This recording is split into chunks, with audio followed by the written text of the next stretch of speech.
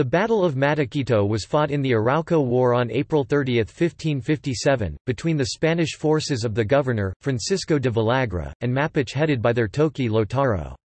It was a dawn surprise attack on Lautaro's fortified camp between a wooded mountain and the shore of the Mataquito River. Overview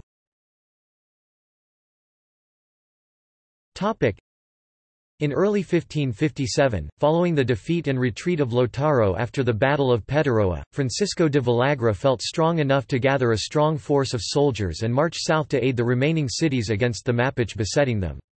Discovering that the city of Santiago was now relatively unprotected, Lautaro evaded the army of Villagra, letting them pass to the south. He soon marched again toward Santiago gathering a new army of 6,000 men joined by allies under Panagualgo bringing it to 10,000 men.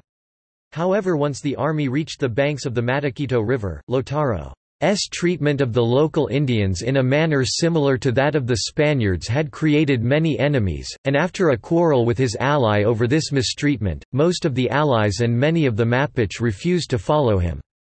He moved over a league upriver from Lora and established himself in a fortified camp in a place called Mataquito. Villagra became aware that the location of the camp had been betrayed by local Indians previously abused by Lautaro.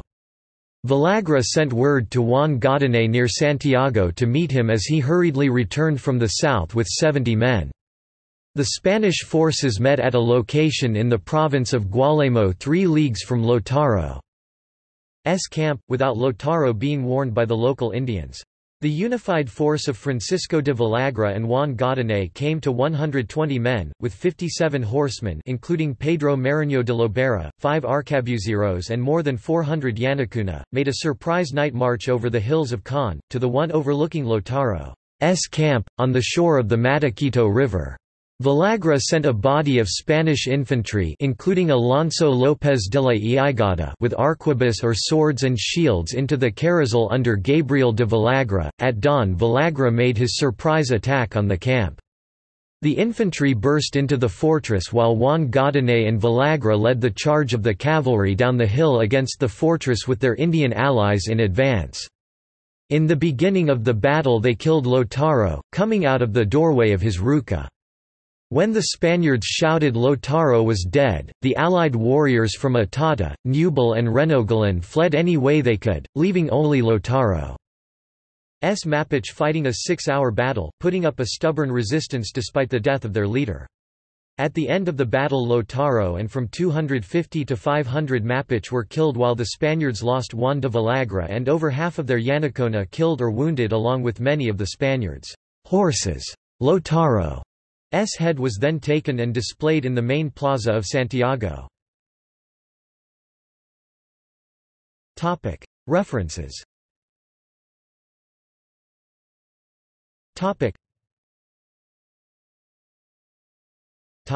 Sources.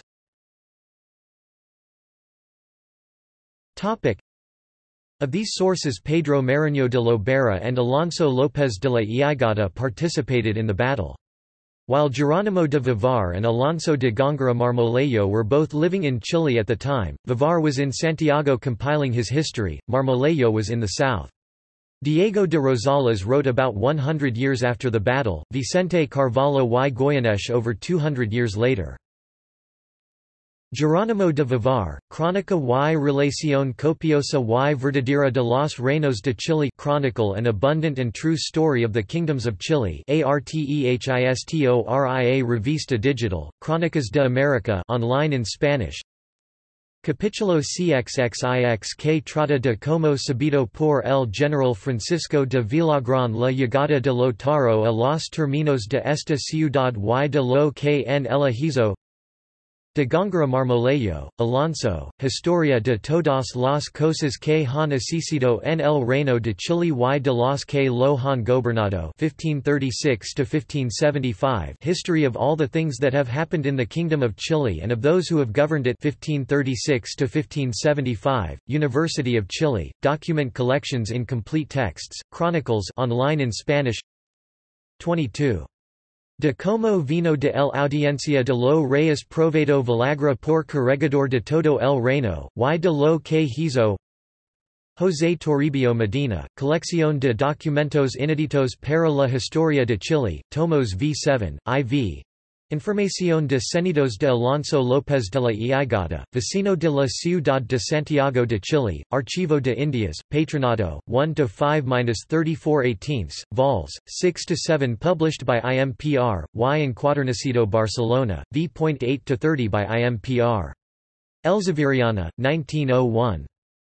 José Toribio Medina, Colección de documentos inéditos para la historia de Chile, tomo 15, Valdivia, y sus compañeros 8, Imprenta Elzeviriana, Santiago, 1898. I. Probanza de los Méritos y Cenidos del General Juan Jufre en el descubrimiento y población de las provincias de Chile, Archivo de Indias, Patronato, 1-5-32 16, pg. 5–216. Mariño de Lobera, Pedro, Crónica del Reino de Chile, escrita por el capitán Pedro Mariño de Lobera. Reducido a nuevo método y estilo por el padre Bartolomé de Escobar.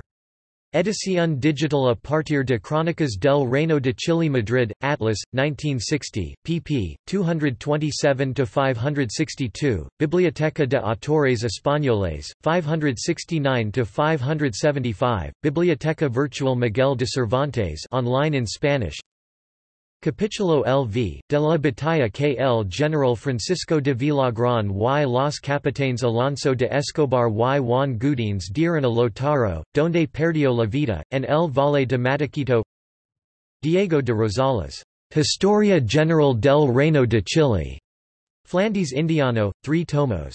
Valparaíso 1877–1878. Historia General de El Reino de Chile, Flandes Indiano Volume 2 Capítulo X Carvallo y Goyeneche, Vicente, Descripción Histórica Geografía del Reino de Chile, Tomo I, Description Historical Geography of the Kingdom of Chile, Volume 1, Colección de Historiadores de Chile y Documentos Relativos a la Historia Nacional, Tomo 8, Imprenta de la Librería del Mercurio de Aym Echeverría, Morando Num, 38, Santiago, 1878. Tomo I, Capítulo 33.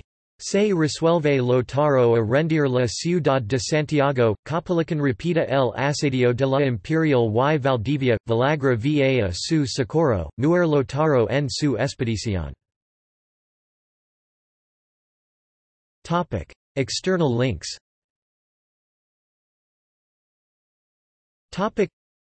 Google map of Quebrada Traiçao use search words, Cerro Chirapilco Location and photos of Cerro Chirapilco, a site believed to be the location of the camp and of the battle.